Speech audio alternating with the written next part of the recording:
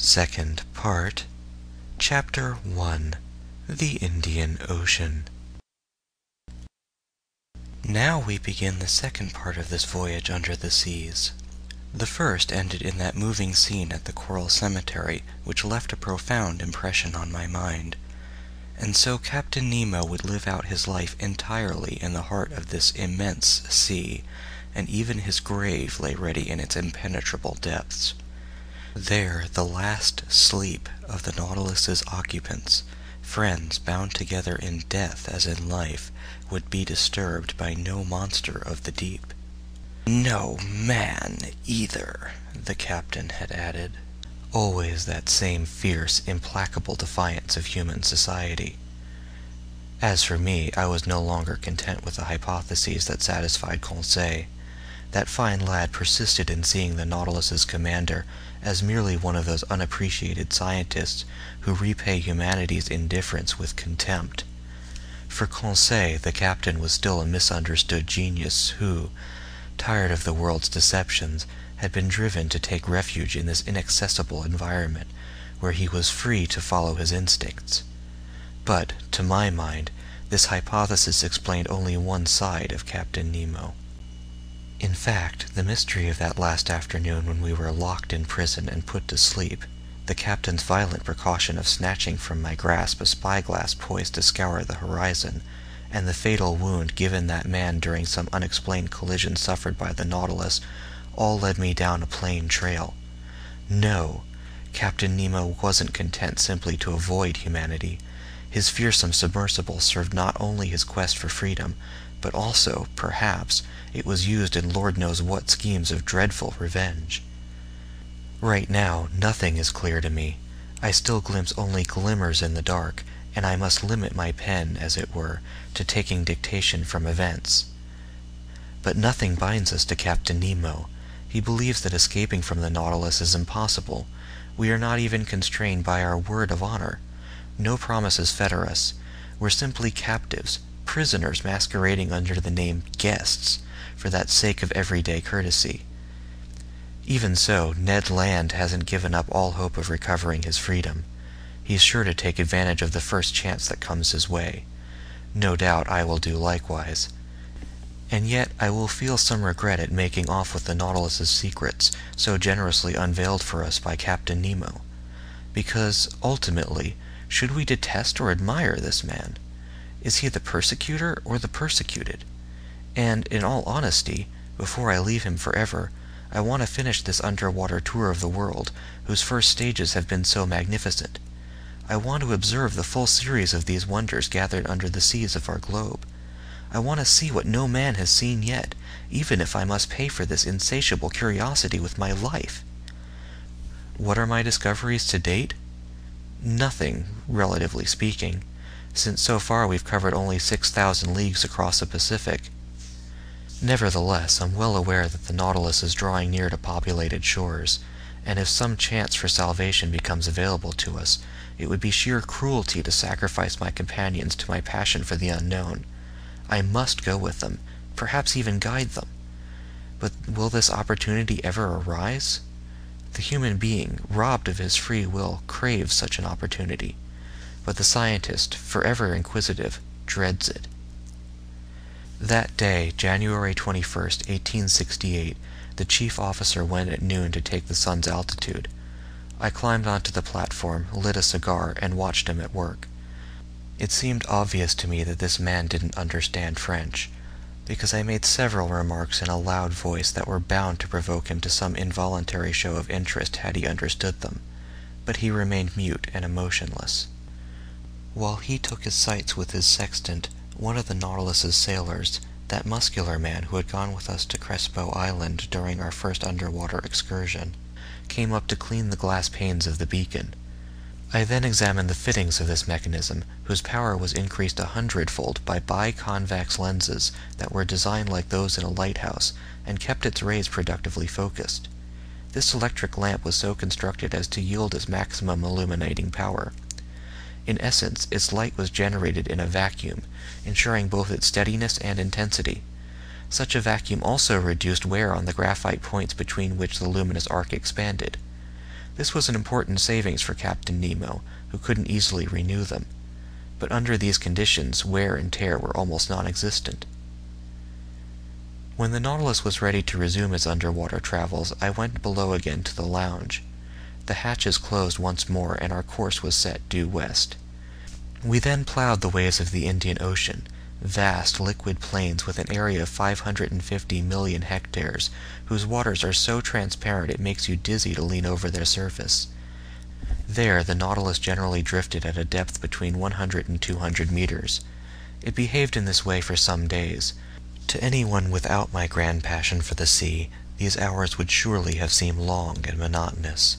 But my daily strolls on the platform where I was revived by the life-giving ocean air, the sights in the rich waters beyond the lounge windows, the books to be read in the library, and the composition of my memoirs, took up all my time and left me without a moment of weariness or boredom. All in all, we enjoyed a highly satisfactory state of health. The diet on board agreed with us perfectly, and for my part, I could easily have gone without those changes of pace that Ned Land, in a spirit of protest, kept taxing his ingenuity to supply us.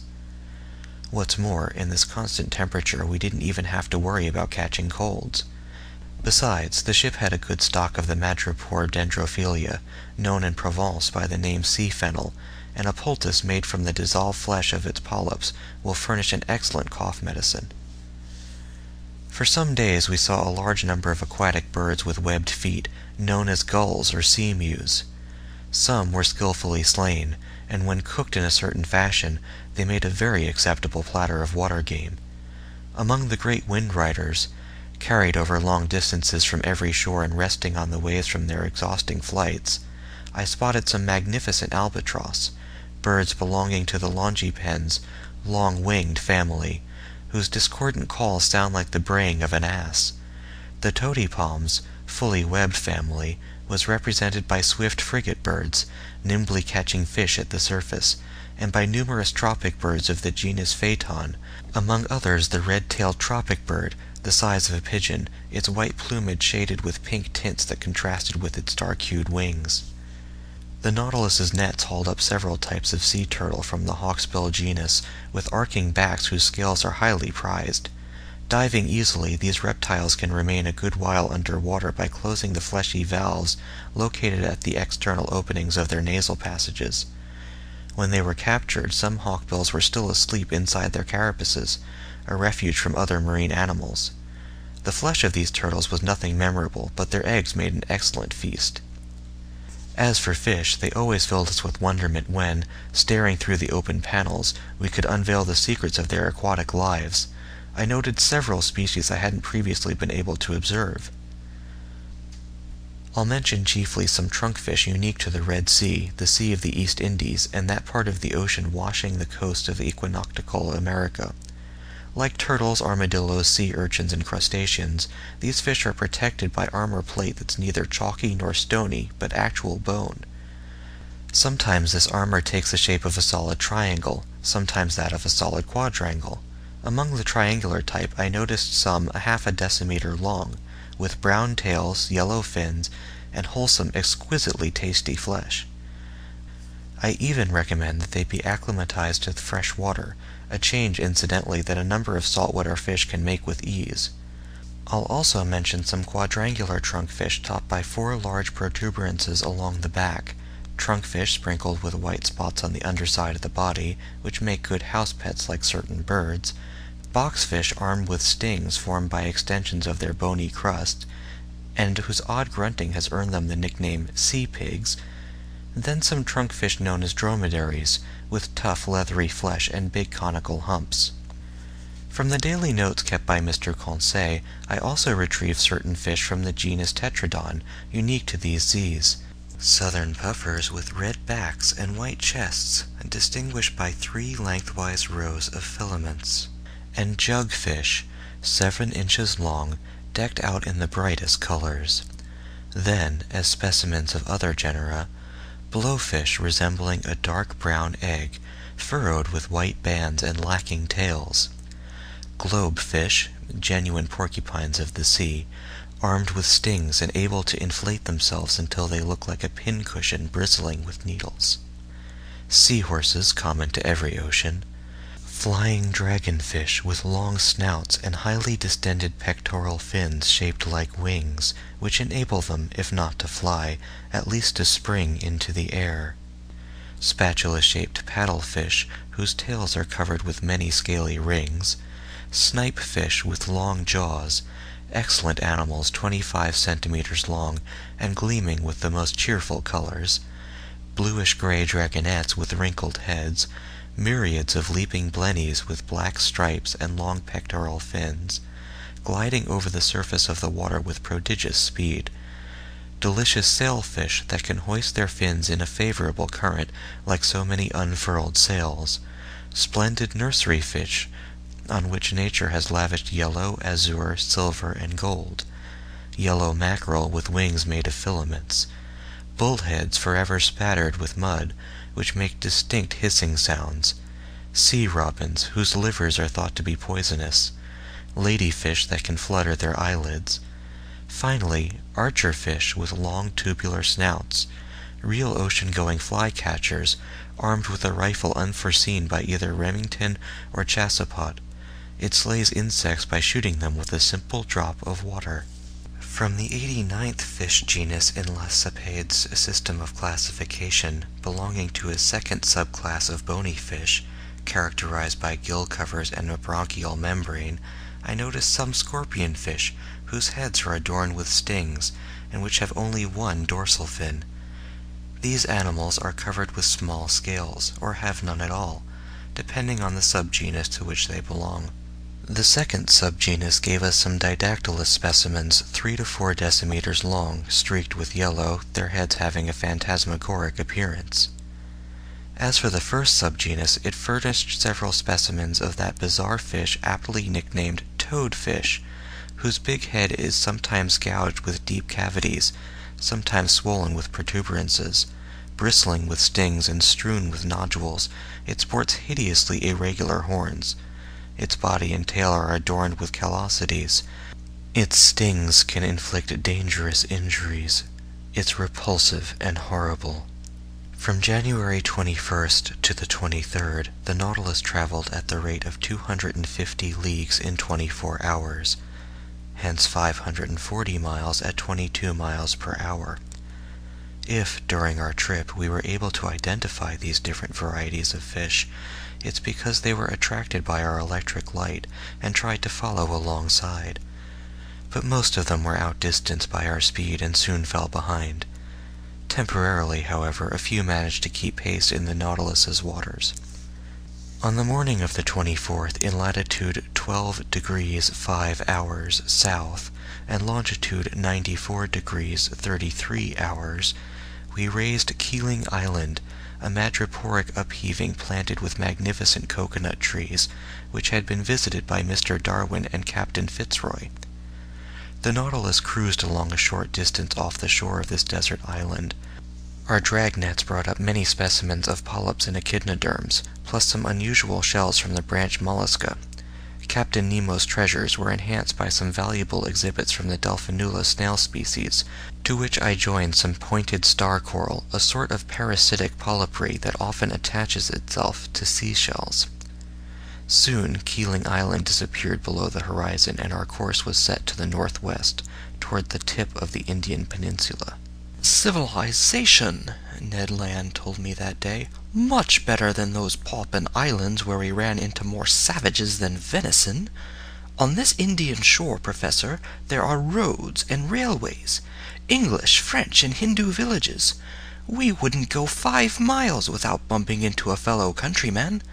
Come on now, isn't it time for our sudden departure from Captain Nemo? No, no, Ned, I replied in a very firm tone. Let's ride it out, as you seafaring fellows say. The Nautilus is approaching populated areas. It's going back toward Europe. Let it take us there. After we arrive in home waters, we can do as we see fit.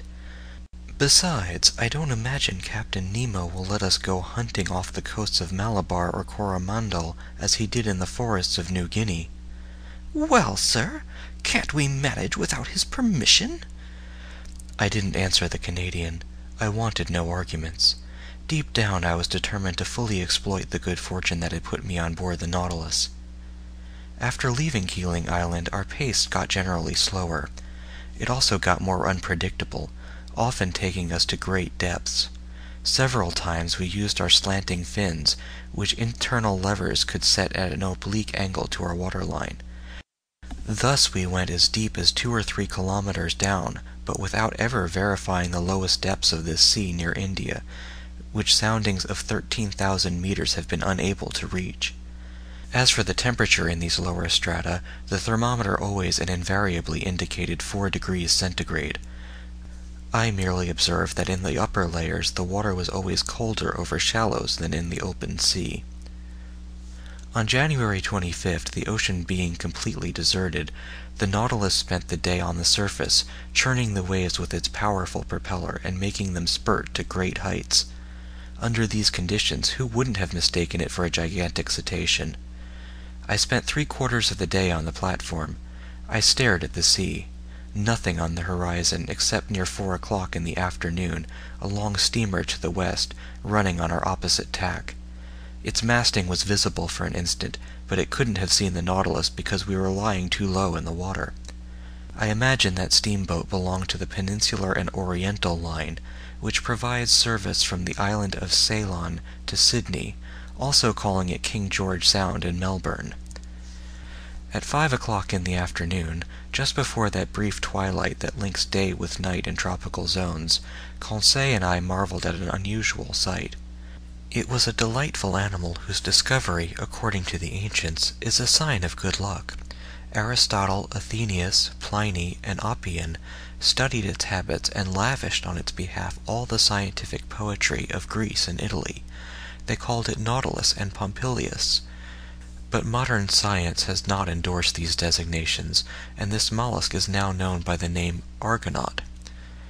Anyone consulting Conseil would soon learn from the gallant lad that the branch mollusca is divided into five classes; that the first class features Cephalopoda, whose members are sometimes naked, sometimes covered with a shell, which consists of two families, the Dibranchiata and the Tetrabranchiata, which are distinguished by their number of gills; that the family Dibranchiata includes three genera, the Argonaut, the squid, and the cuttlefish and that the family Tetrabranchiata contains only one genus, the Nautilus.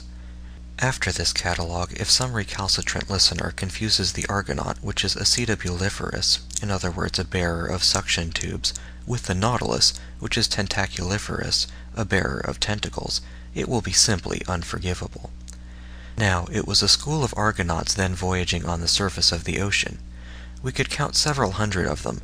They belonged to that species of Argonaut covered with protuberances and exclusive to the seas near India. These graceful mollusks were swimming backwards by means of their locomotive tubes, sucking water into these tubes and then expelling it. Six of their eight tentacles were long, thin, and floated on the water, while the other two were rounded into palms and spread to the wind like light sails. I could see perfectly their undulating spiral-shaped shells, which Cuvier aptly compared to an elegant cockle-boat. It's an actual boat, indeed. It transports the animal that secretes it without the animal sticking to it. The Argonaut is free to leave its shell, I told Conseil, but it never does. Not unlike Captain Nemo, Conseil replied sagely, which is why he should have christened the ship the Argonaut. For about an hour the Nautilus cruised the midst of this school of mollusks. Then, Lord knows why, they were gripped with a sudden fear. As if at a signal, every sail was abruptly lowered. Arms folded, bodies contracted, shells turned over by changing their center of gravity, and the whole flotilla disappeared under the waves.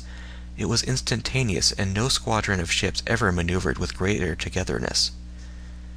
Just then the night fell suddenly, and the waves barely surged in the breeze, spreading placidly around the Nautilus's side plates. The next day, January 26th, we cut the equator on the 82nd meridian and we re-entered the northern hemisphere. During that day a fearsome school of sharks provided us with an escort, dreadful animals that teem in these seas and make them extremely dangerous. There were Port Jackson sharks with a brown back, a whitish belly, and eleven rows of teeth; big eye sharks with necks marked by a large black spot encircled in white and resembling an eye; and Isabella sharks whose rounded snouts were strewn with dark speckles.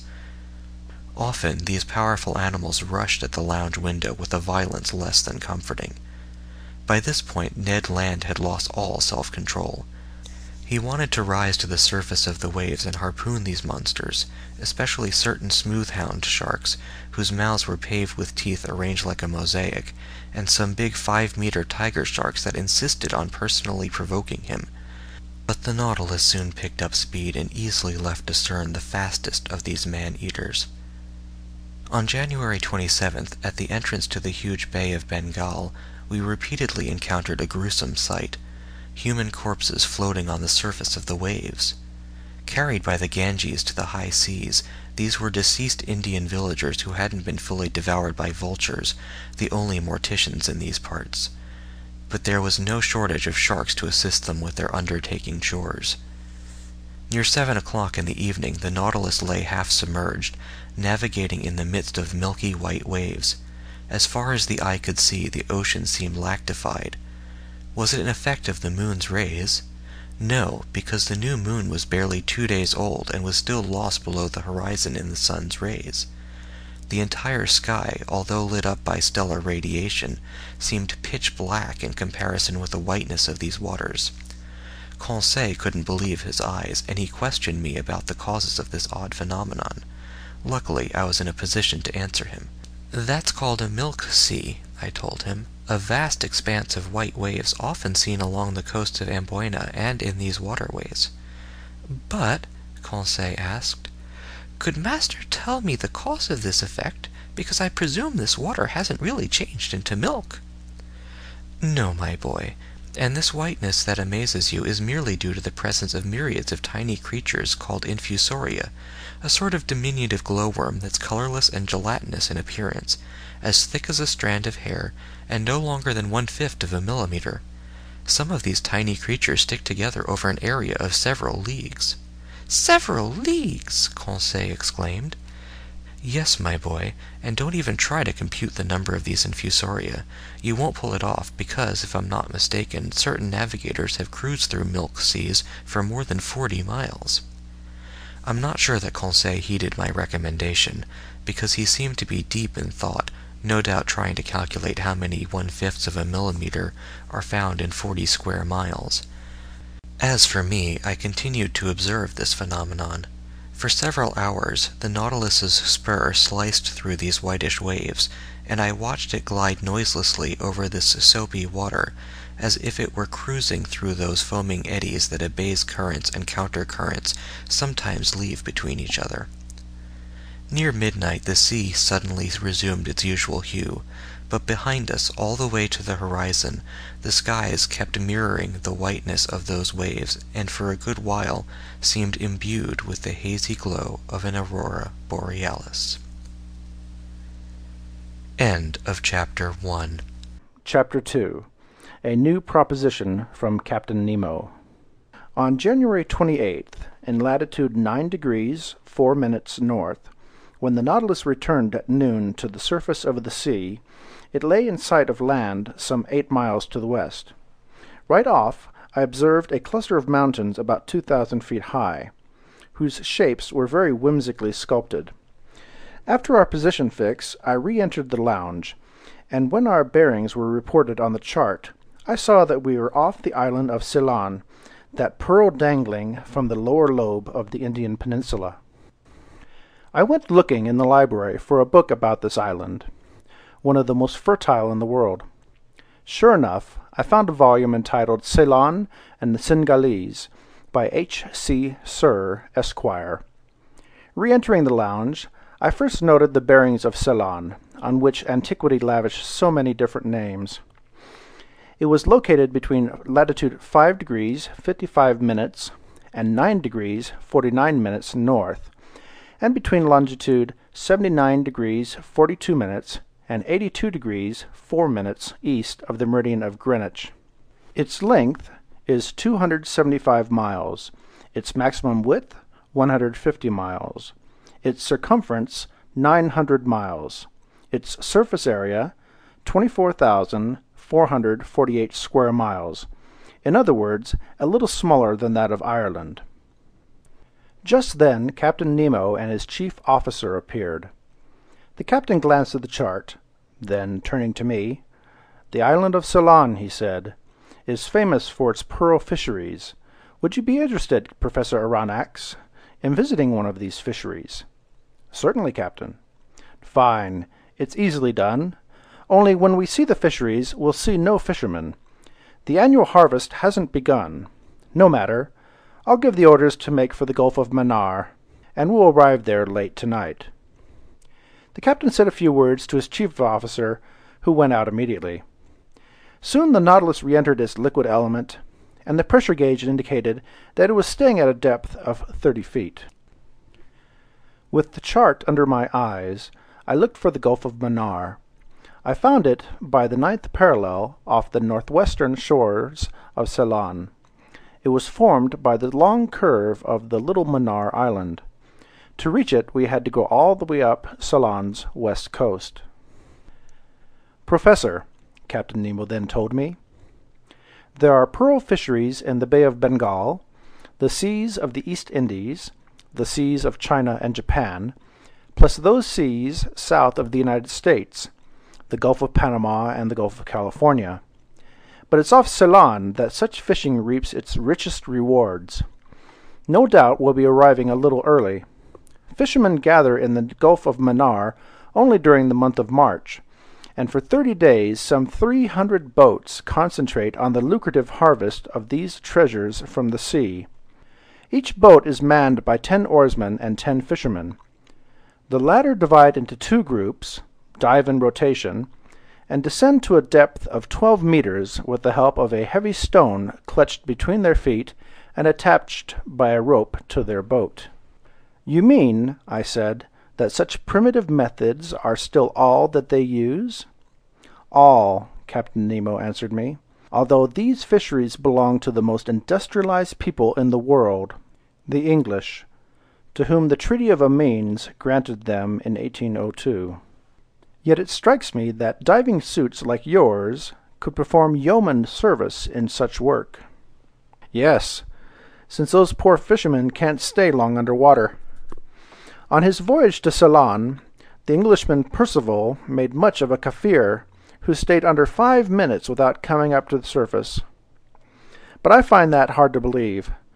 I know that some divers can last up to 57 seconds, and highly skillful ones to 87, but such men are rare, and when those poor fellows climb back on board, the water is coming out of their noses and ears is tinged with blood.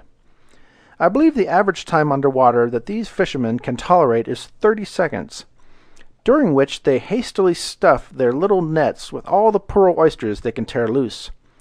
But these fishermen generally don't live to an advanced age. Their vision weakens, ulcers break out on their eyes, sores form on their bodies, and some are even stricken with apoplexy on the ocean floor. Yes, I said, it's a sad occupation, and one that exists only to gratify the whims of fashion. But tell me, Captain, how many oysters can a boat fish up in a workday? About forty to fifty thousand. It's even said that in 1814, when the English government went fishing on its own behalf, its divers worked just 20 days and brought up 76 million oysters. At least, I said, the fishermen are well paid, aren't they? Hardly, Professor. In Panama, they make just one dollar per week. In most places, they earn only a penny for each oyster that has a pearl, and they bring up so many that have none. Only one penny to those poor people who make their employers rich? That's atrocious. On that note, Professor, Captain Nemo told me. You and your companions will visit the Mannar Oyster Bank. And if by chance some eager fisherman arrives early, well, we can watch him at work. That suits me, Captain. By the way, Professor Aronnax, you aren't afraid of sharks, are you? Sharks? I exclaimed. This struck me as a pretty needless question, to say the least. Well, Captain Nemo went on, I admit, Captain, I'm not yet on very familiar terms with that genus of fish. We're used to them, the rest of us, Captain Nemo answered, and in time you will be too. Anyhow, we'll be armed, and on our way we might hunt a man-eater or two. It's a fascinating sport. So, Professor, I'll see you tomorrow, bright and early. This said in a carefree tone, Captain Nemo left the lounge. If you're invited to hunt bears in the Swiss mountains, you might say, Oh, good! I get to go bear hunting tomorrow. If you're invited to hunt lions on the Atlas Plains or tigers in the jungles of India, you might say, Ha! Now's my chance to hunt lions and tigers.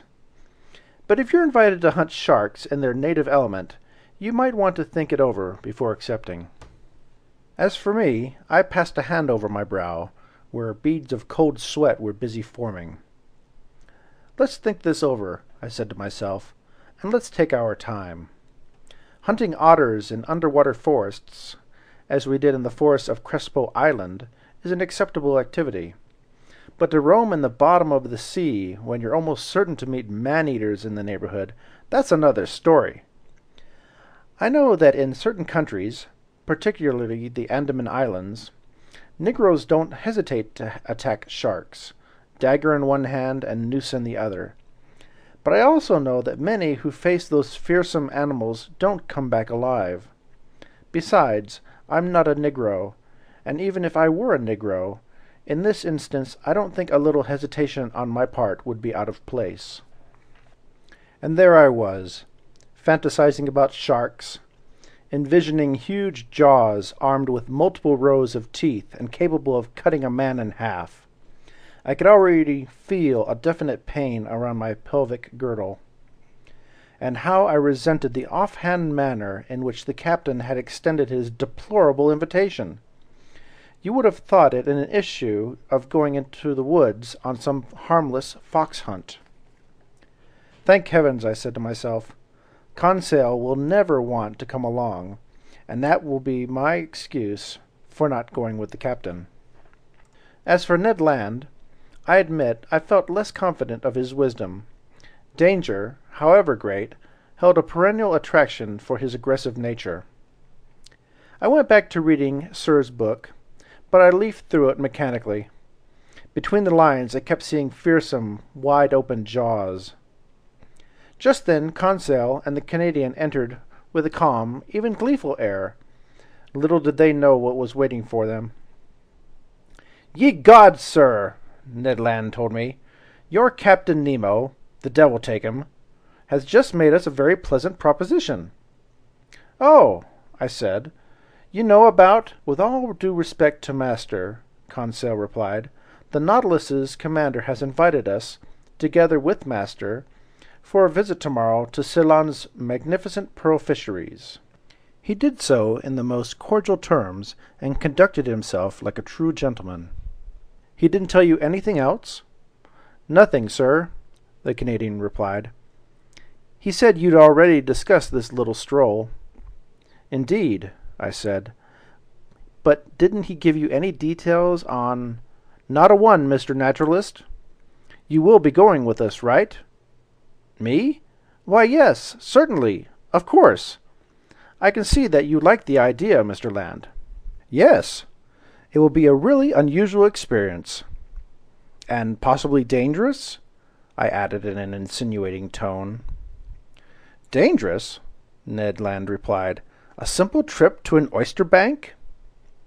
Assuredly, Captain Nemo hadn't seen fit to plant the idea of sharks in the minds of my companions.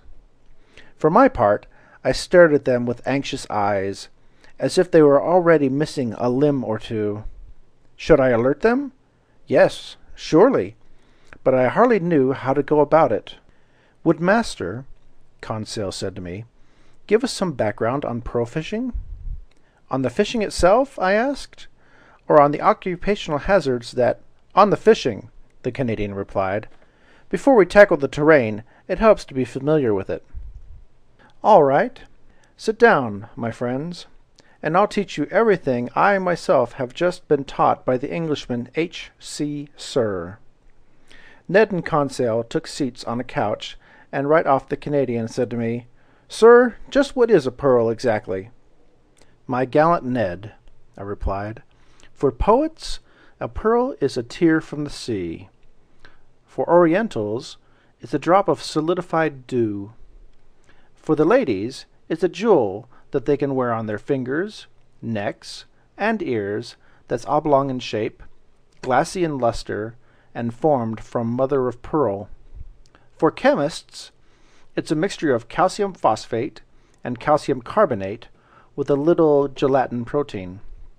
And finally, for naturalists, it's a simple festering secretion from the organ that produces mother of pearl in certain bivalves. Branch, Mollusca, Conseil said. Class, Acephala. Order, Testacea. Correct, my scholarly Conseil. Now then, those Testacea capable of producing pearls include rainbow abalone, turbo snails, giant clams, and saltwater scallops. Briefly, all those that secrete mother of pearl, in other words, that blue, azure, violet, or white substance lining the insides of their valves. Are mussels included too? the Canadian asked. Yes, the mussels of certain streams in Scotland, Wales, Ireland, Saxony, Bohemia, and France. Good, the Canadian replied. From now on we'll pay closer attention to to 'em. But, I went on, for secreting pearls, the ideal mollusk is the pearl oyster Meleagrina margaritifera, that valuable shellfish. Pearls result simply from mother of pearl solidifying into a globular shape. Either they stick to the oyster's shell, or they become embedded in the creature's folds. On the valves, a pearl sticks fast.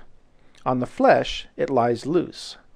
But its nucleus is always some small, hard object, say a sterile egg or a grain of sand, around which the mother of pearl is deposited in thin, concentric layers over several years in succession. Can one find several pearls in the same oyster? Conseil asked. Yes, my boy. There are even some shellfish that turn into real jewel coffers. They even mention one oyster, about which I remain dubious, that supposedly contained at least a 150 sharks. A 150 sharks? Ned Land yelped. Did I say sharks? I exclaimed hastily. I meant a 150 pearls. Sharks wouldn't make sense. Indeed, Conseil said. But will Master now tell us how one goes about extracting these pearls? One proceeds in several ways, and often when pearls stick to the valves, fishermen even pull them loose with pliers. But usually the shellfish are spread out on mats made from esparto grass that covers the beaches. Thus they die in the open air, and by the end of ten days they've rotted sufficiently. Next they're immersed in huge tanks of salt water, then they're opened up and washed. At this point, the sorters begin their twofold task. First, they remove the layers of mother of pearl, which are known in the industry by the names legitimate silver, bastard white, or bastard black. And then these are shipped out in cases weighing 125 to 150 kilograms. Then they remove the oyster's meaty tissue, boil it, and finally strain it in order to extract even the smallest pearls. Do the prices of these pearls differ depending on their size, Conseil asked. Not only on their size, I replied, but also according to their shape, their water, in other words, their color, and their orient.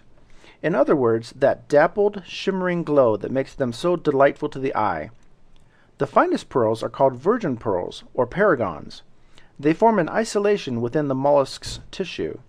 They're white, often opaque, but sometimes of opalescent transparency and usually spherical or pear-shaped. The spherical ones are made into bracelets, the pear-shaped ones into earrings, and since they're the most valuable, they're priced individually. The other pearls that stick to the oyster's shell are more erratically shaped and are priced by weight. Finally, classed in the lowest order, the smallest pearls are known by the name seed pearls. They're priced by the measuring cup and are used mainly in the creation of embroidery for church vestments. But it must be a long, hard job, sorting out these pearls by size, the Canadian said. No, my friend, that task is performed with eleven strainers, or sieves, that are pierced with different numbers of holes. Those pearls staying in the strainers with 20 to 80 holes are in the first order. Those not slipping through the sieves pierced with 100 to 800 holes are in the second order. Finally, those pearls for which one uses strainers pierced with 900 to 1000 holes make up the seed pearls.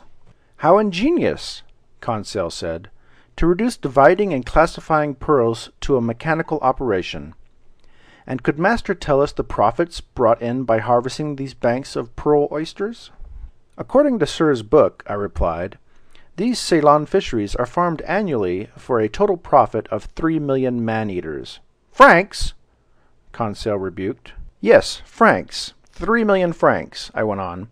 But I don't think these fisheries bring in the returns they once did. Similarly, the Central American fisheries used to make an annual profit of four million francs during the reign of King Charles V, but now they bring in only two-thirds of that amount. All in all, it's estimated that 9 million francs is the current yearly return for the whole pearl harvesting industry. But, Conseil asked, haven't certain famous pearls been quoted at extremely high prices? Yes, my boy. They say Julius Caesar gave Servilia a pearl worth 1,200,000 francs in our currency. I've even heard stories, the Canadian said, about some lady in ancient times who drank pearls in vinegar. Cleopatra, Conseil shot back.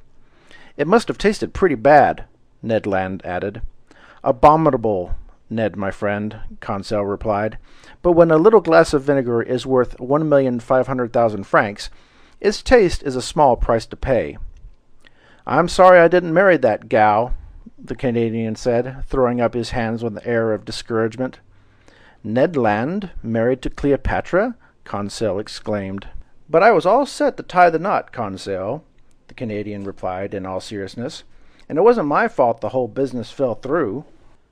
I even bought a pearl necklace for my fiancée, Kate Tender, but she married somebody else instead. Well, that necklace cost me only a dollar fifty, but you can absolutely trust me on this, Professor. Its pearls were so big they wouldn't have gone through that strainer with twenty holes. My gallant Ned, I replied, laughing. Those were artificial pearls, ordinary glass beads, whose insides were coated with essence of orient. Wow, the Canadian replied. That essence of orient must sell for quite a large sum. As little as zero. It comes from the scales of a European carp. It's nothing more than a silver substance that collects in the water and is preserved in ammonia. It's worthless. Maybe that's why Kate Tender married somebody else, replied Mr. Land philosophically. But, I said, getting back to pearls of great value, I don't think any sovereign ever possessed one superior to the pearl owned by Captain Nemo. This one? Conseil said, pointing to a magnificent jewel in its glass case. Exactly.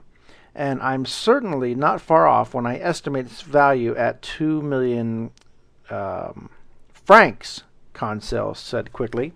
Yes, I said, two million francs. And no doubt all it cost our captain was the effort to pick it up. Ha! Ned Land exclaimed. During our stroll tomorrow, who says we won't run into one just like it? Bah! Conseil put in. And why not? What good would a pearl worth millions do us here on the Nautilus? Here, no, Ned Land said, but elsewhere. Oh, elsewhere, Conseil put in, shaking his head. In fact, I said, Mr. Land is right, and if we ever brought back to Europe or America a pearl worth millions, it would make the story of our adventures more authentic and much more rewarding. That's how I see it, the Canadian said.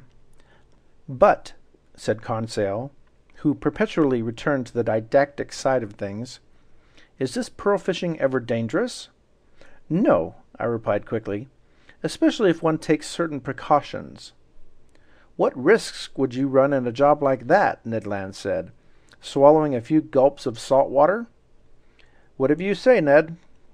Then, trying to imitate Captain Nemo's carefree tone, I asked, By the way, gallant Ned, are you afraid of sharks? Me? the Canadian replied. I'm a professional harpooner. It's my job to make a mockery of them. It isn't an issue, I said, of fishing for them with a swivel hook, hoisting them onto a deck of a ship, chopping off the tail with a sweep of an axe, opening the belly, ripping out the heart, and tossing it into the sea. So it's an issue of. Yes, precisely. In the water? In the water. Ye gods! Just give me a good harpoon. You see, sir, these sharks are badly designed. They have to roll their bellies over to snap you up, and in the meantime. Ned Land had a way of pronouncing the word snap that sent chills down my spine. Well, how about you, Conseil? What are your feelings about these man eaters? Me? Conseil said. I'm afraid I must be frank with Master. Good for you, I thought. If Master faces these sharks, Conseil said, I think his loyal manservant should face them with him. End of chapter 2. Chapter 3 A Pearl Worth Ten Million. Night fell. I went to bed. I slept pretty poorly.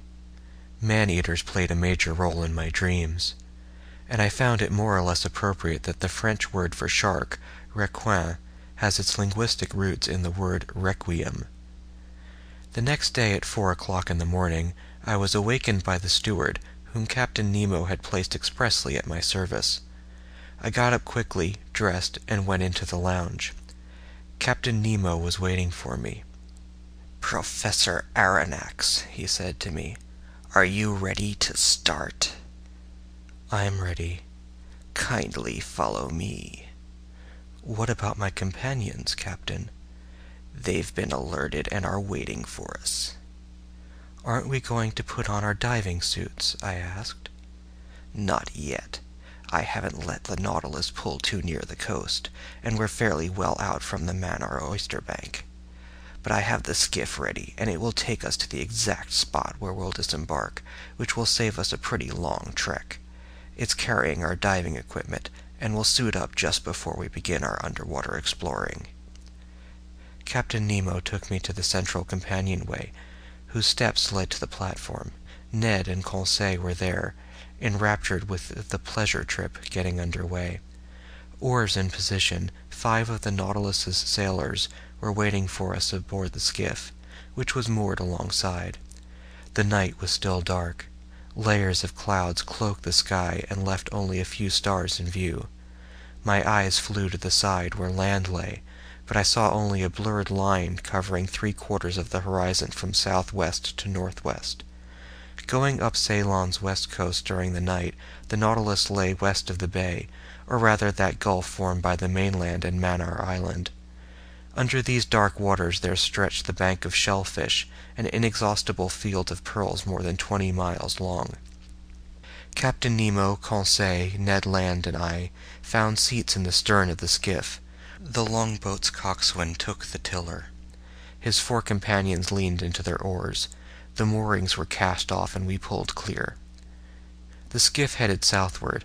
The oarsmen took their time. I watched their strokes vigorously catch the water, and they always waited ten seconds before rowing again, following the practice used in most navies. While the longboat coasted, drops of liquid flicked from the oars and hit the dark troughs of the waves, pitter-pattering like splashes of molten lead. Coming from well out, a mild swell made the skiff roll gently, and a few cresting billows lapped at its bow. We were silent. What was Captain Nemo thinking? Perhaps that this approaching shore was too close for comfort, contrary to the Canadian's views, in which it still seemed too far away. As for Conseil, he had come along out of simple curiosity. Near 5.30 the first glimmers of light on the horizon defined the upper lines of the coast with greater distinctness. Fairly flat to the east, it swelled a little towards the south. Five miles still separated it from us, and its beach merged with the misty waters. Between us and the shore the sea was deserted. Not a boat, not a diver. Profound solitude reigned over this gathering place of pearl fishermen. As Captain Nemo had commented, we were arriving in these waterways a month too soon. At six o'clock the day broke suddenly, with that speed unique to tropical regions, which experience no real dawn or dusk. The sun's rays pierced the cloud curtain gathered on the easterly horizon, and the radiant orb rose swiftly. I could clearly see the shore, which featured a few sparse trees here and there. The skiff advanced towards Mannar Island, which curved to the south. Captain Nemo stood up from his thwart and studied the sea.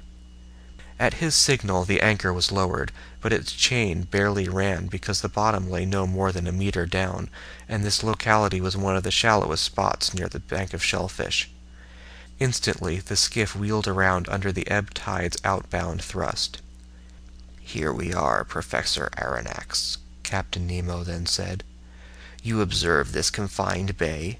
A month from now in this very place the numerous fishing boats of the harvesters will gather, and these are the waters their divers will ransack so daringly. This bay is felicitously laid out for their type of fishing.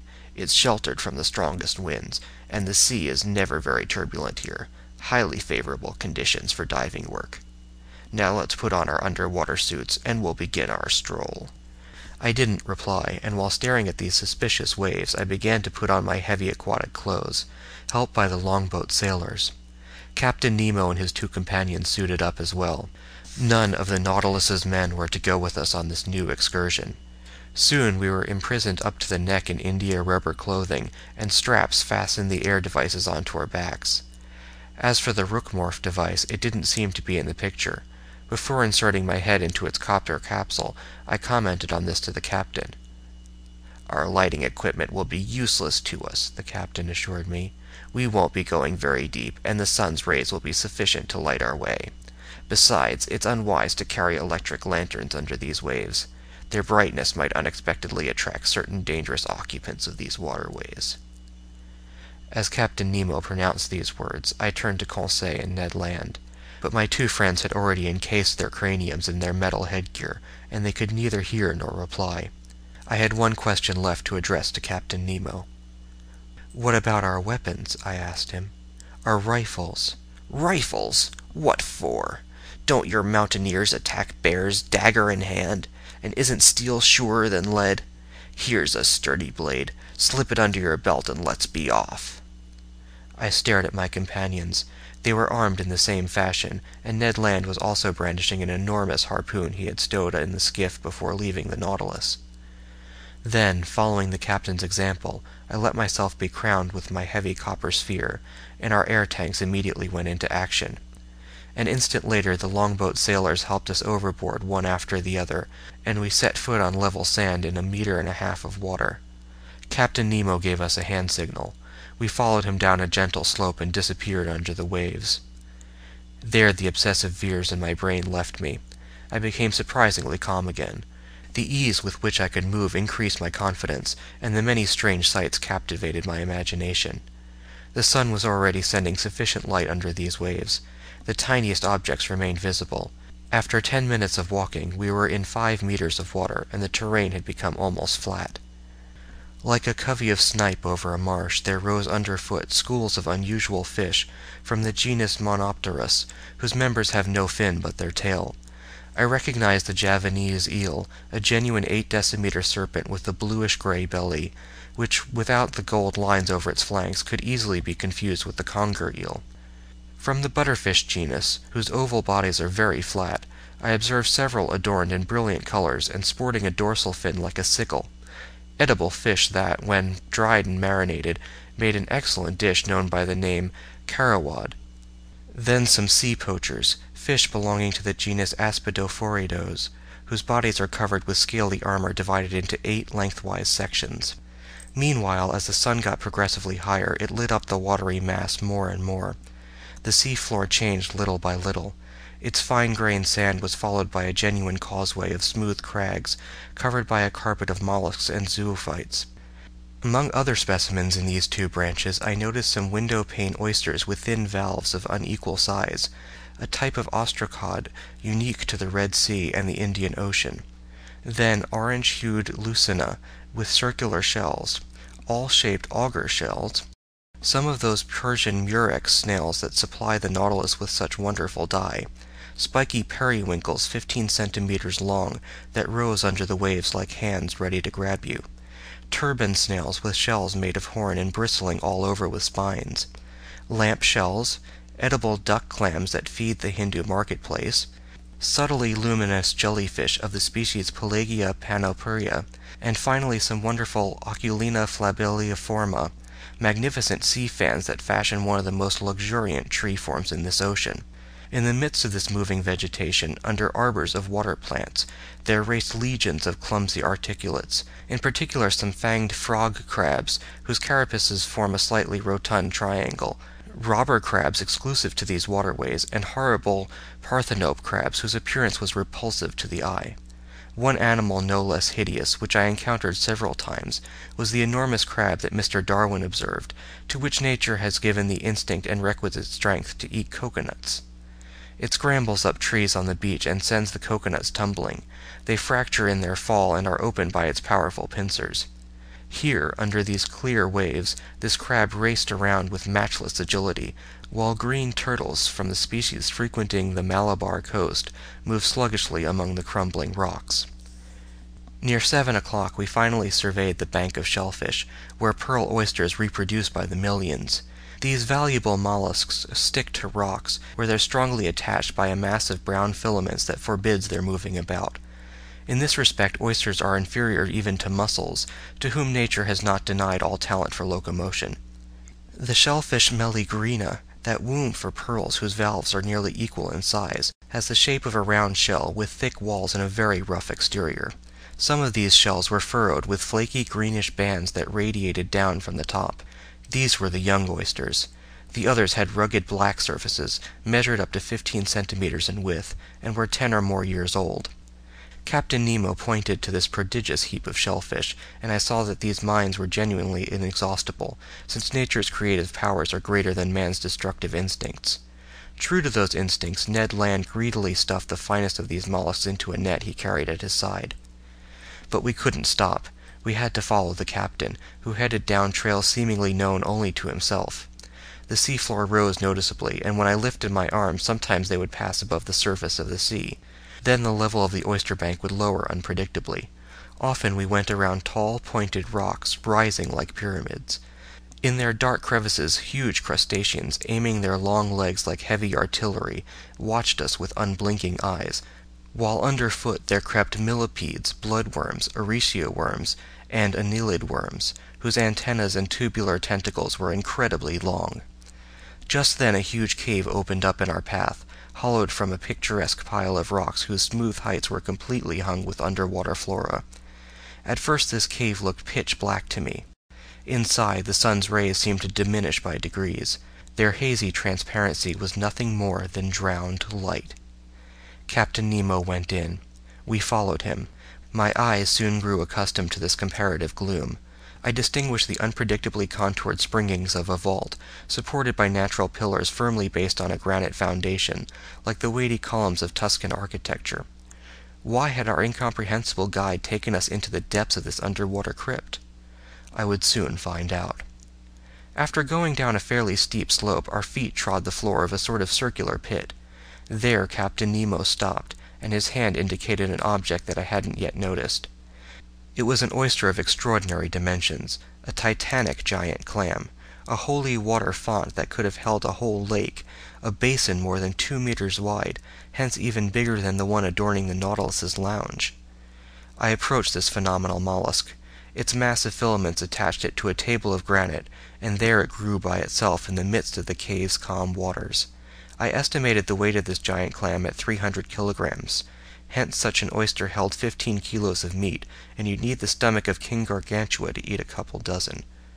Captain Nemo was obviously familiar with this bivalve's existence. This wasn't the first time he'd paid it a visit, and I thought his sole reason for leading us to this locality was to show us a natural curiosity. I was mistaken. Captain Nemo had an explicit personal interest in checking on the current condition of this giant clam. The mollusk's two valves were partly open.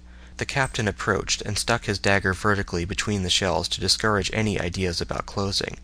Then, with his hands he raised the fringed, membrane-filled tunic that made up the animal's mantle. There, between its leaf-like folds, I saw a loose pearl as big as a coconut.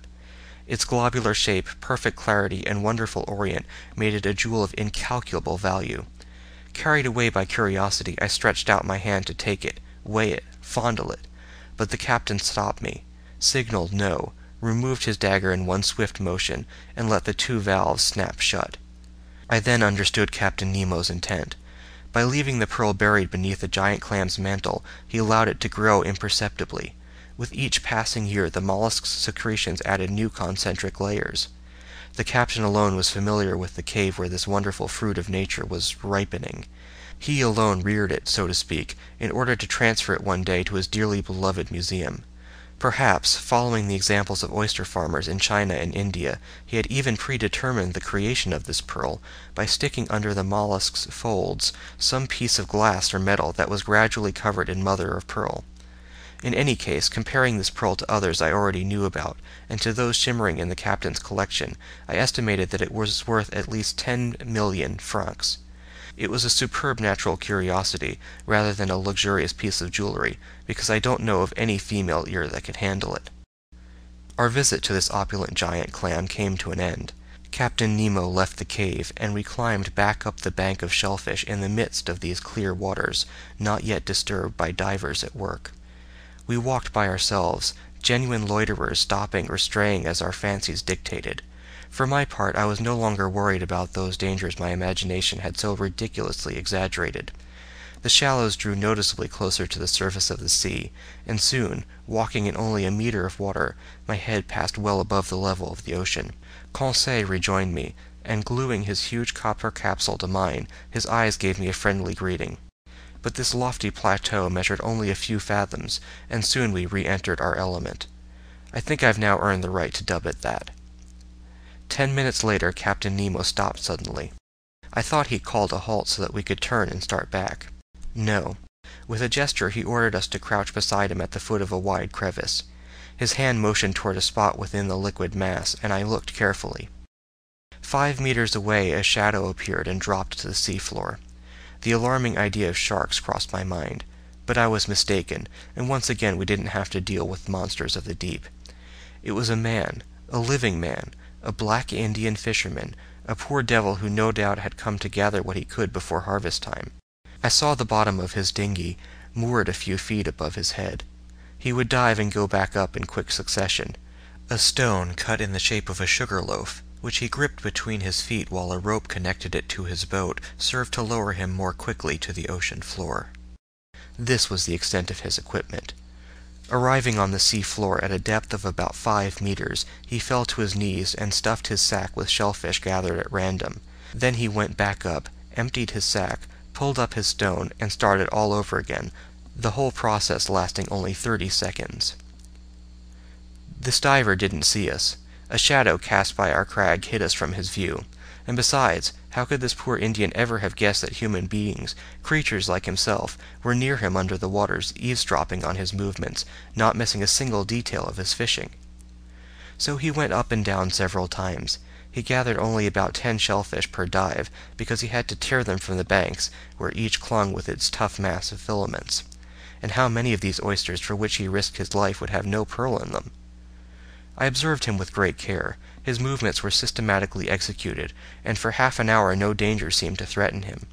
So I had gotten used to the sight of this fascinating fisherman, when, all at once, just as the Indian was kneeling on the seafloor, I saw him make a frightened gesture, stand, and gather himself to spring back to the surface of the waves. I understood his fear. A gigantic shadow appeared above the poor diver. It was a shark of huge size, moving in diagonally, eyes ablaze, jaws wide open. I was speechless with horror, unable to make a single movement. With one vigorous stroke of its fins the voracious animal shot toward the Indian, who jumped aside and avoided the shark's bite but not the thrashing of its tail, because that tail struck him across the chest and stretched him out on the sea floor. This scene lasted barely a few seconds. The shark returned, rolled over on its back, and was getting ready to cut the Indian in half, when Captain Nemo, who was stationed beside me, suddenly stood up. Then he strode right towards the monster, dagger in hand, ready to fight it at close quarters. Just as it was about to snap up the poor fisherman, the man-eater saw its new adversary, repositioned itself on its belly, and headed swiftly toward him. I can see Captain Nemo's bearings to this day. Bracing himself, he waited for the fearsome man-eater with wonderful composure, and when the latter rushed at him, the captain leaped aside with prodigious quickness, avoided a collision, and sank his dagger into its belly. But that wasn't the end of the story. A dreadful battle was joined. The shark bellowed, so to speak. Blood was pouring into the waves from its wounds.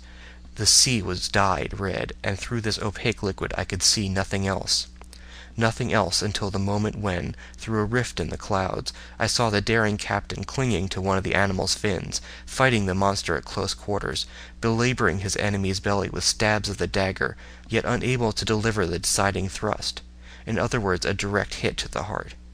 In its struggles the man-eater churned the watery mass so furiously its eddies threatened to knock me over. I wanted to run to the captain's rescue, but I was transfixed with horror, unable to move. I stared, wild-eyed. I saw the fight enter a new phase. The captain fell to the seafloor, toppled by the enormous mass weighing him down. Then the shark's jaws opened astonishingly wide, like a pair of industrial shears, and that would have been the finish of Captain Nemo had not Ned Land, quick as thought, rushed forward with his harpoon and driven its dreadful point into the shark's underside. The waves were saturated with masses of blood. The waters shook with the movements of the man-eater, which thrashed about with indescribable fury. Ned Land hadn't missed his target. This was the monster's death rattle. Pierced to the heart, it was struggling with dreadful spasms whose aftershocks knocked Conseil off his feet. Meanwhile Ned Land pulled the captain clear.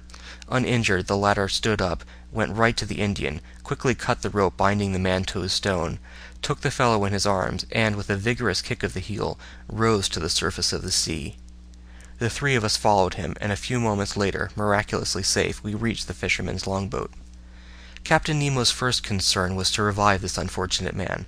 I wasn't sure he would succeed. I hope so, since the poor devil hadn't been under very long, but that stroke from the shark's tail could have been his death blow. Fortunately, after vigorous massaging by Conseil and the captain, I saw the nearly drowned man regain consciousness little by little. He opened his eyes. How startled he must have felt, how frightened even, at seeing four huge copper craniums leaning over him. And above all, what must he have thought when Captain Nemo pulled a bag of pearls from a pocket in his diving suit and placed it in the fisherman's hands? This magnificent benefaction from the man of the waters to the poor Indian from Ceylon was accepted by the latter with trembling hands. His bewildered eyes indicated that he didn't know to what superhuman creatures he owed both his life and his fortune. At the captain's signal we returned to the bank of shellfish, and retracing our steps we walked for half an hour until we encountered the anchor connecting the seafloor with the Nautilus's skiff. Back on board, the sailors helped divest us of our heavy copper carapaces. Captain Nemo's first words were spoken to the Canadian. "Thank you, Mr. Land," he told him. "Tit for tat, Captain," Ned Land replied. "I owed it to you." The ghost of a smile glided across the captain's lips, and that was all. "To the Nautilus," he said. The longboat flew over the waves. A few minutes later we encountered the shark's corpse again, floating. From the black markings on the tips of its fins, I recognized the dreadful Squalus melanopterus from the seas of the East Indies, a variety in the species of sharks proper. It was more than twenty-five feet long. Its enormous mouth occupied a third of its body. It was an adult, as could be seen from the six rows of teeth forming an isosceles triangle in its upper jaw. Conseil looked at it with purely scientific fascination and I'm sure he placed it, not without good reason, in the class of cartilaginous fish, order Chondropterygia, with fixed gills, family Selachia, genus Squalus. While I was contemplating this inert mass, suddenly a dozen of these voracious Melanoptera appeared around our longboat. But, paying no attention to us, they pounced on the corpse and quarreled over every scrap of it. By 8.30 we were back on board the Nautilus. There I fell to thinking about the incidents that marked our excursion over the Mannar oyster bank. Two impressions inevitably stood out. One concerned Captain Nemo's matchless bravery, the other his devotion to a human being, a representative of that race from which he had fled beneath the seas. In spite of everything, this strange man hadn't yet succeeded in completely stifling his heart. When I shared these impressions with him, he answered me in a tone touched with emotion. That Indian, Professor, lives in the land of the oppressed, and I am to this day, and will be until my last breath, a native of that same land. End of chapter 3. Chapter 4 The Red Sea During the day of January 29, the island of Ceylon disappeared below the horizon, and at a speed of twenty miles per hour the Nautilus glided into the labyrinthine channels that separate the Maldive and Laccadive Islands. It likewise hugged Kiltan Island, a shore of madreporic origin discovered by Vasco da Gama in 1499, and one of nineteen chief islands in the island group of the Laccadives located between latitude 10 degrees and 14 degrees 30 minutes north, and between longitude 50 degrees 72 minutes and 69 degrees east. By then we had fared 16,220 miles, or 7,500 leagues from our starting point in the seas of Japan. The next day, January 30, when the Nautilus rose to the surface of the ocean, there was no more land in sight. Setting its course to the north-northwest, the ship headed toward the Gulf of Oman, carved out between Arabia and the Indian Peninsula, and providing access to the Persian Gulf. This was obviously a blind alley with no possible outlet. So where was Captain Nemo taking us? I was unable to say which didn't satisfy the Canadian, who that day asked me where we were going. We're going, Mr. Ned, where the captain's fancy takes us. His fancy, the Canadian replied, won't take us very far. The Persian Gulf has no outlet, and if we enter those waters, it won't be long before we return in our tracks. All right, we'll return, Mr. Land, and after the Persian Gulf, if the Nautilus wants to visit the Red Sea, the Strait of Bab el Mandeb is still there to let us in. I don't have to tell you, sir, Ned Land replied, that the Red Sea is just as landlocked as the Gulf, since the Isthmus of Suez hasn't been cut all the way through yet. And even if it was, a boat as secretive as ours wouldn't risk a canal intersected with locks, so the Red Sea won't be our way back to Europe either. But I didn't say we'd return to Europe. What do you figure, then? I figure that after visiting these unusual waterways of Arabia and Egypt, the Nautilus will go back down to the Indian Ocean, perhaps through Mozambique Channel, perhaps off the Mascarene Islands, and then make for the Cape of Good Hope. And once we're at the Cape of Good Hope, the Canadian asked with typical persistence, Well, then, we'll enter that Atlantic Ocean with which we aren't yet familiar. What's wrong, Ned, my friend? Are you tired of this voyage under the seas? Are you bored with the constantly changing sight of these underwater wonders? Speaking for myself, I'll be extremely distressed to see the end of a voyage so few men will ever have a chance to make.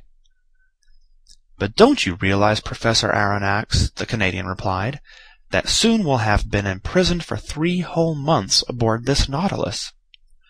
No, Ned, I didn't realize it. I don't want to realize it, and I don't keep track of every day and every hour. But when will it be over? In its appointed time. Meanwhile, there's nothing we can do about it, and our discussions are futile. My gallant Ned, if you come and tell me a chance to escape is available to us, then I'll discuss it with you. But that isn't the case, and in all honesty, I don't think Captain Nemo ever ventures into European seas. This short dialogue reveals that in my mania for the Nautilus, I was turning into the spitting image of its commander. As for Ned Land, he ended our talk in his best speechifying style. That's all fine and dandy, but in my humble opinion, a life in jail is a life without joy. For four days until February 3, the Nautilus inspected the Gulf of Oman at various speeds and depths. It seemed to be traveling at random, as if hesitating over which course to follow, but it never crossed the Tropic of Cancer. After leaving this gulf we raised Muscat for an instant, the most important town in the country of Oman. I marveled at its strange appearance in the midst of the black rocks surrounding it, against which the white of its houses and forts stood out sharply. I spotted the rounded domes of its mosques, the elegant tips of its minarets, and its fresh, leafy terraces. But it was only a fleeting vision, and the Nautilus soon sank beneath the dark waves of these waterways. Then our ship went along at a distance of six miles from the Arabic coasts of Mahra and Hadramaut, their undulating lines of mountains relieved by a few ancient ruins. On February 5 we finally put into the Gulf of Aden, a genuine funnel stuck into the neck of Bab el Mandeb and bottling these Indian waters in the Red Sea. On February 6 the Nautilus cruised in sight of the city of Aden, perched on a promontory connected to the continent by a narrow isthmus, a sort of inaccessible Gibraltar whose fortifications the English rebuilt after capturing it in 1839. I glimpsed the octagonal minarets of this town, which used to be one of the wealthiest, busiest commercial centers along this coast, as the Arab historian Idrisi tells it. I was convinced that when Captain Nemo reached this point he would back out again, but I was mistaken, and much to my surprise he did nothing of the sort. The next day, February 7, we entered the Strait of Bab el Mandeb, whose name means Gate of Tears in the Arabic language. Twenty miles wide, it's only fifty-two kilometers long, and with the Nautilus launched at full speed, clearing it was the work of barely an hour. But I didn't see a thing, not even Perim Island where the British government built fortifications to strengthen Aden's position. There were many English and French steamers plowing this narrow passageway, liners going from Suez to Bombay, Calcutta, Melbourne, Réunion Island, and Mauritius. Far too much traffic for the Nautilus to make an appearance on the surface so it wisely stayed in mid-water. Finally, at noon, we were plowing the waves of the Red Sea. The Red Sea, that great lake so famous in biblical traditions, seldom replenished by rains, fed by no important rivers, continually drained by a high rate of evaporation, its water level dropping a meter and a half every year. If it were fully landlocked like a lake, this odd gulf might dry up completely. On this score it's inferior to its neighbors, the Caspian Sea and the Dead Sea, whose levels lower only to the point where their evaporation exactly equals the amount of water they take to their hearts. This Red Sea is 2,600 kilometers long with an average width of 240. In the days of the Ptolemies and the Roman emperors it was a great commercial artery for the world, and when its isthmus has been cut through it will completely regain that bygone importance that the Suez railways have always brought back in part.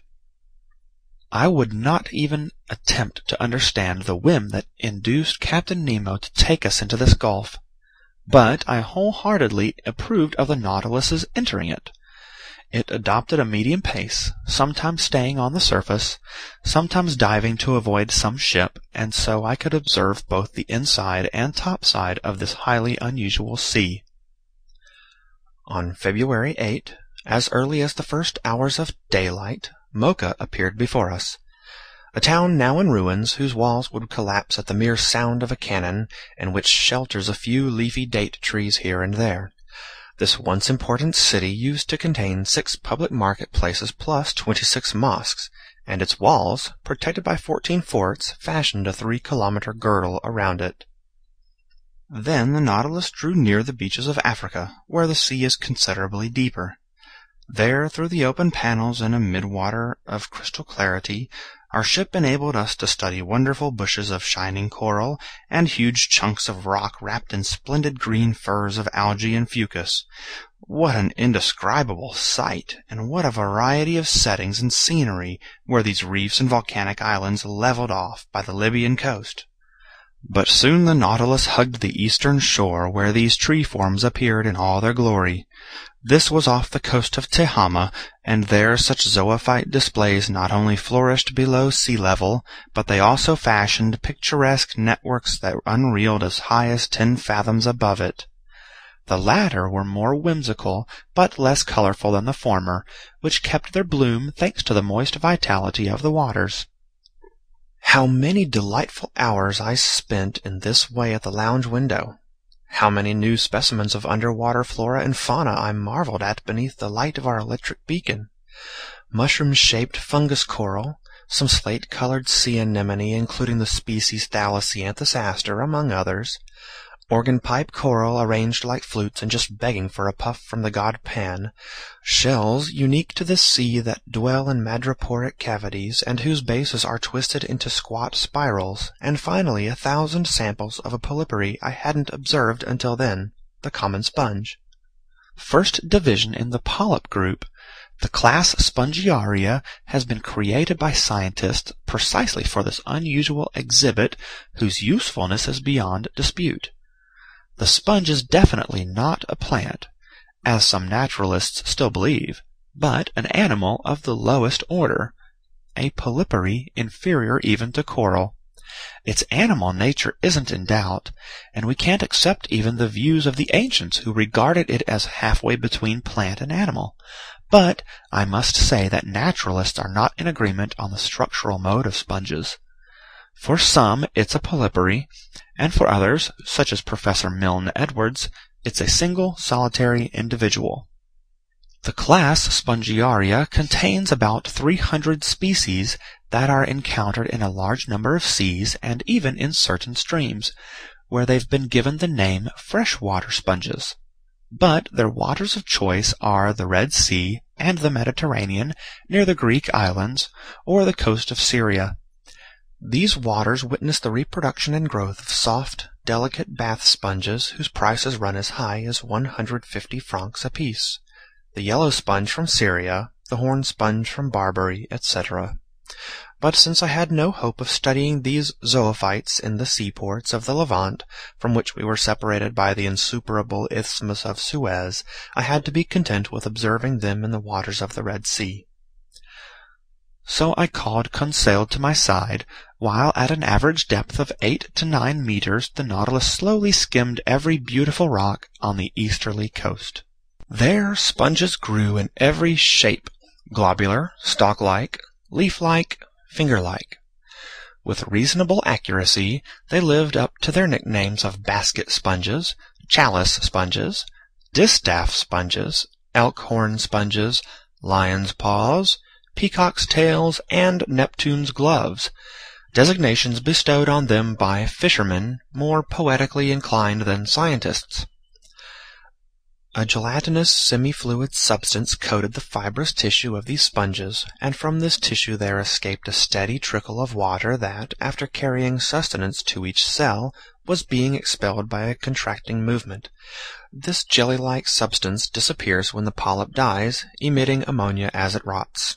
Finally, nothing remains but the fibers, either gelatinous or made of horn, that constitute your household sponge, which takes on a russet hue and is used for various tasks depending on its degree of elasticity, permeability, or resistance to saturation.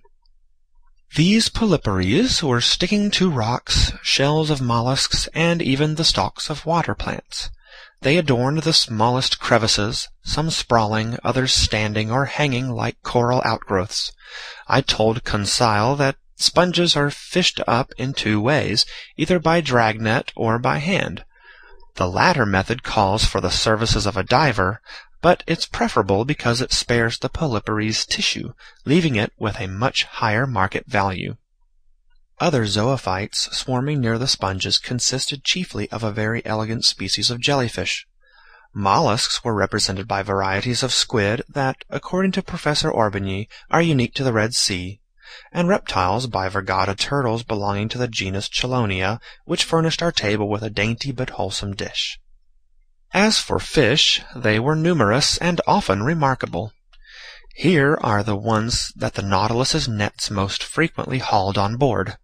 Rays, including spotted rays that were oval in shape and brick red in color, their bodies strewn with erratic blue speckles and identifiable by their jagged double stings, silver-backed skates, common stingrays with stippled tails, butterfly rays that looked like huge two-meter cloaks flapping at mid-depth, toothless guitarfish that were a type of cartilaginous fish closer to the shark, trunkfish known as dromedaries that were one and a half feet long and had humps ending in backward curving stings, serpentine moray eels with silver tails and bluish backs, plus brown pectorals trimmed in gray piping, a species of butterfish called the fiatola, decked out in thin gold stripes and the three colors of the French flag, Montague blennies, four centimeters long, superb jacks, handsomely embellished by seven black crosswise streaks with blue and yellow fins,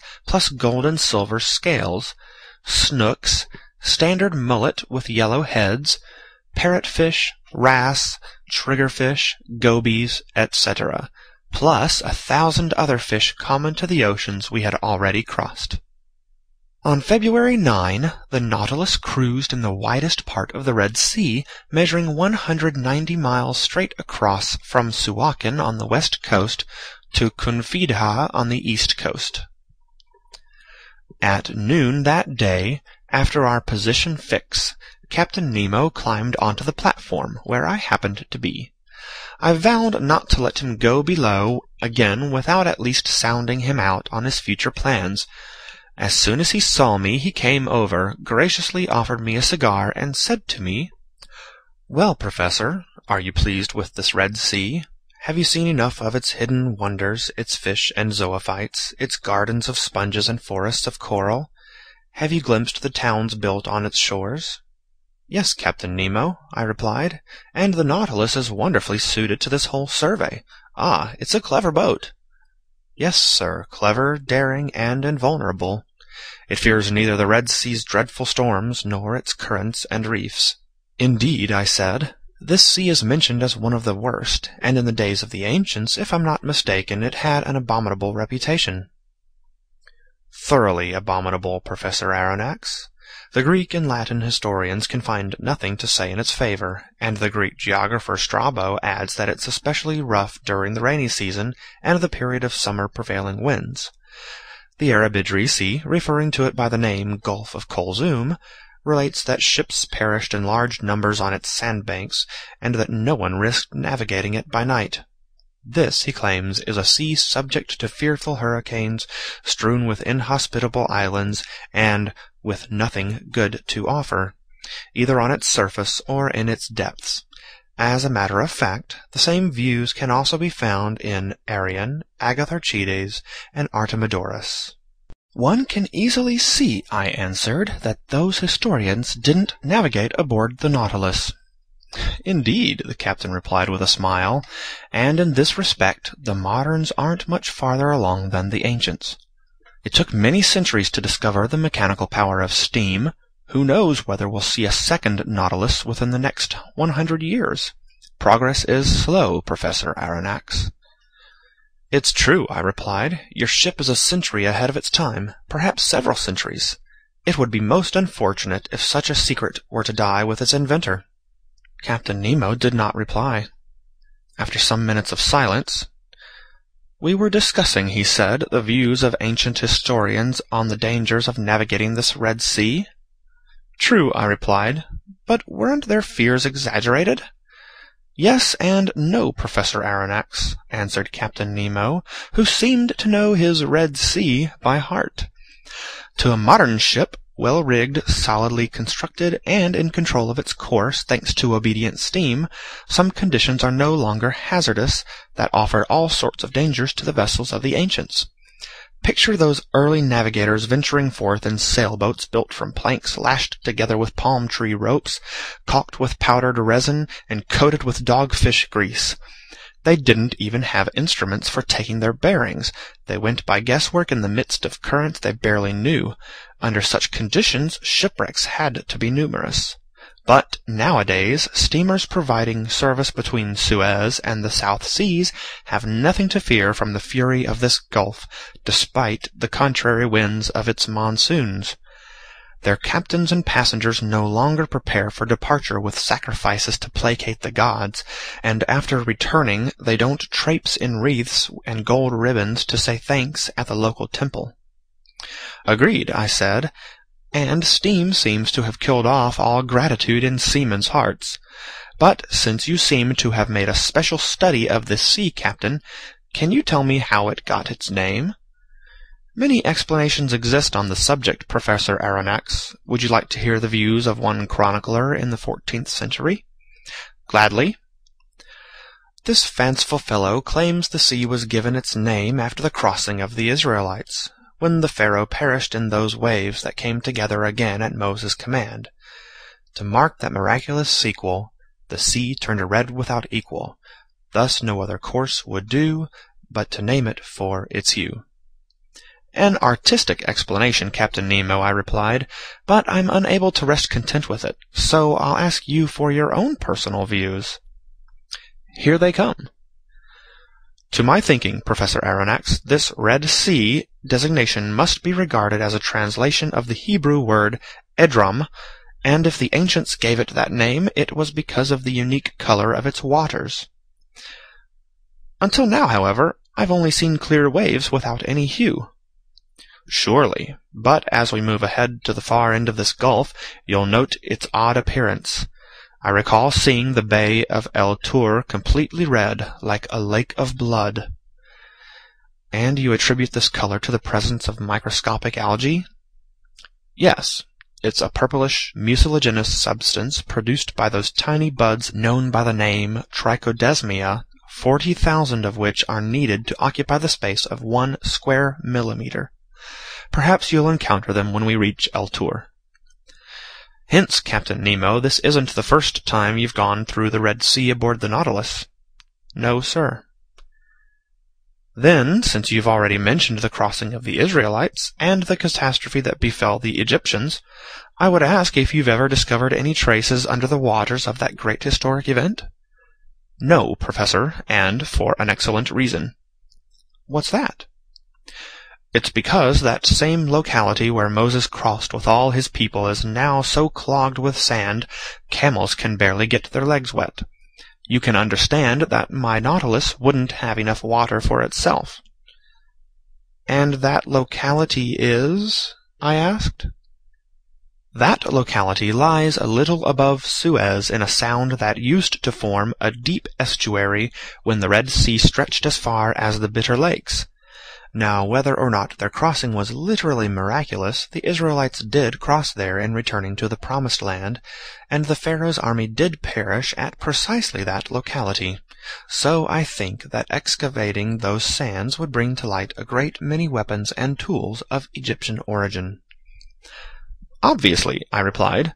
And for the sake of archaeology, let's hope that sooner or later such excavations do take place, once new towns are settled on the isthmus after the Suez Canal has been cut through, a canal, by the way, of little use to a ship such as the Nautilus. Surely, but of great use to the world at large, Captain Nemo said. The ancients well understood the usefulness to commerce of connecting the Red Sea with the Mediterranean, but they never dreamed of cutting a canal between the two, and instead they picked the Nile as their link. If we can trust tradition, it was probably Egypt's king Sesostris who started digging the canal needed to join the Nile with the Red Sea. What's certain is that in 615 BC, King Necho II was hard at work on a canal that was fed by Nile water and ran through the Egyptian plains opposite Arabia. This canal could be traveled in four days, and it was so wide two triple-tiered galleys could pass through it abreast. Its construction was continued by Darius the Great, son of Hystaspes, and probably completed by King Ptolemy II. Strabo saw it used for shipping, but the weakness of its slope between its starting point, near Bubastis, and the Red Sea left it navigable only a few months out of the year. This canal served commerce until the century of Rome's Antonine emperors. It was then abandoned and covered with sand, subsequently reinstated by Arabia's Caliph Omar I, and finally filled in for good in 761 or 762 A.D. by Caliph al-Mansur, in an effort to prevent supplies from reaching Muhammad ibn Abdullah, who had rebelled against him. During his Egyptian campaign, your General Napoleon Bonaparte discovered traces of this old canal in the Suez Desert, and when the tide caught him by surprise, he well nigh perished just a few hours before rejoining his regiment at Hadjarath, the very place where Moses had pitched camp three thousand three hundred years before him. Well, Captain, what the ancients hesitated to undertake, Monsieur de Lesseps is now finishing up. His joining of these two seas will shorten the route from Cadiz to the East Indies by nine thousand kilometers, and he'll soon change Africa into an immense island. Yes, Professor Aronnax, and you have every right to be proud of your fellow countrymen. Such a man brings a nation more honor than the greatest commanders. Like so many others, he began with difficulties and setbacks, but he triumphed because he has the volunteer spirit and it's sad to think that this deed, which should have been an international deed, which would have ensured that any administration went down in history, will succeed only through the efforts of one man. So, all hail to Monsieur de Lesseps. Yes, all hail to that great French citizen, I replied, quite startled by how emphatically the Captain Nemo had just spoken. Unfortunately, he went on, I can't take you through that Suez Canal, but the day after tomorrow you'll be able to see the long jetties of Port Said when we're in the Mediterranean. In the Mediterranean? I exclaimed. Yes, Professor. Does that amaze you? What amazes me is thinking we'll be there the day after tomorrow. Oh, really? Yes, Captain, although since I've been aboard your vessel I should have formed the habit of not being amazed by anything. But what is it that startles you? The thought of how hideously fast the Nautilus will need to go if it's to double the Cape of Good Hope, circle around Africa, and lie in the open Mediterranean by the day after tomorrow. And who says it will circle Africa, Professor? What's this talk about doubling the Cape of Good Hope? But unless the Nautilus navigates on dry land and crosses over the isthmus, or under it, Professor Aronnax. Under it? Surely, Captain Nemo replied serenely. Under that tongue of land, nature long ago made what man today is making on its surface. What? There's a passageway? Yes, an underground passageway that I've named the Arabian Tunnel. It starts below Suez and leads to the Bay of Pelusium. But isn't that isthmus only composed of quicksand? To a certain depth, but at merely fifty meters one encounters a firm foundation of rock. And it's by luck that you discovered this passageway? I asked, more and more startled. Luck plus logic, Professor, and logic even more than luck. Captain, I hear you, but I can't believe my ears. Oh, sir, the old saying still holds true. Ores habent et non audient. Translation, they have ears, but hear not. Not only does this passageway exist, but I've taken advantage of it on several occasions. Without it, I wouldn't have ventured today into such a blind alley as the Red Sea. Is it indiscreet to ask how you discovered this tunnel? Sir, the captain answered me, there can be no secrets between men who will never leave each other. I ignored this innuendo and waited for Captain Nemo's explanation. Professor, he told me, the simple logic of the naturalist led me to discover this passageway, and I alone am familiar with it. I'd noted that in the Red Sea and the Mediterranean there exist a number of absolutely identical species of fish eels, butterfish, greenfish, bass, jewelfish, flying fish.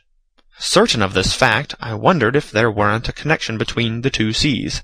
If there were, its underground current had to go from the Red Sea to the Mediterranean simply because of their difference in level.